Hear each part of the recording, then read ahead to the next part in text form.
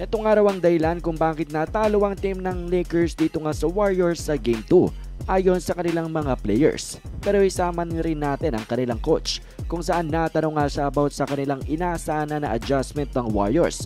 At ang naging sagot dyan ni coach siya may inaasahan nga daw nilang pagbabago sa mga players sa rotation ng Golden State at kanina nga daw ay hindi natin masyado nakita itong si GP2. And then pinag-start nga rin daw itong si Jamichael Green at ginawang off the bench itong si Looney.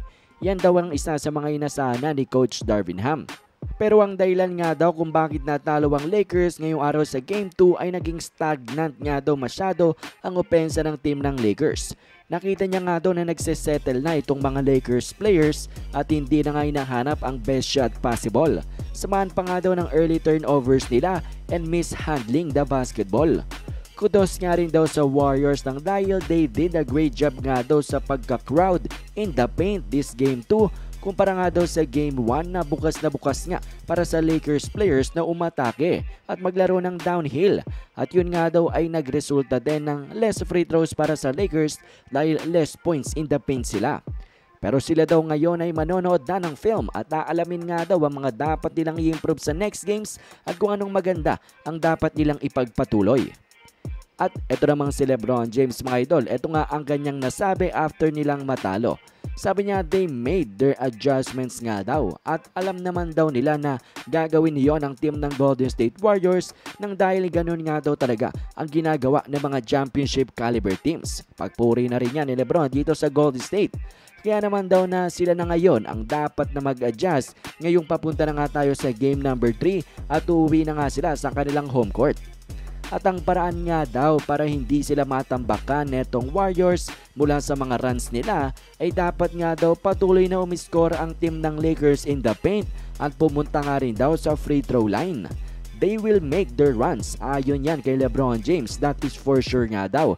Pero dapat ka nga rin daw bumawi at patuloy na umiskor at the other end.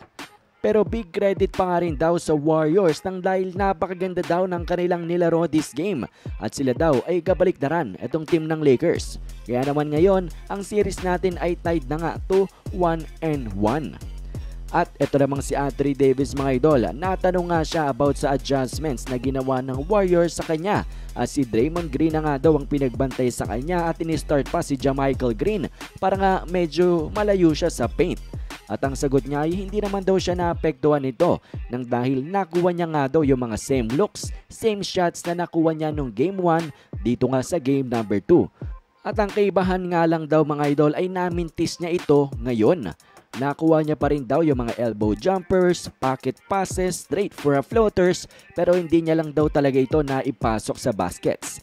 They have made their adjustments nga daw sa game 2 na ito tapos sabayan pa daw ng magandang shooting nila kaya sila nanalo. Pero sa panghuli nga ay sinabi ni Anthony Davis na sila daw ay mas magiging better pa kumpara dito sa game 2. At sabi rin ni Anthony Davis na I will be better. Pati na nga rin daw siya ay mas magiging better pa in making shots sa kanilang next game at yun mga idol isabay na nga nila sa Los Angeles sa game 3. At yan ang mga nasabi nga neto ni Lebron James, Anthony Davis at ni Coach Darvin Ham na dahilan kung bakit ang Warriors ay tinalo nga sila this game number 2.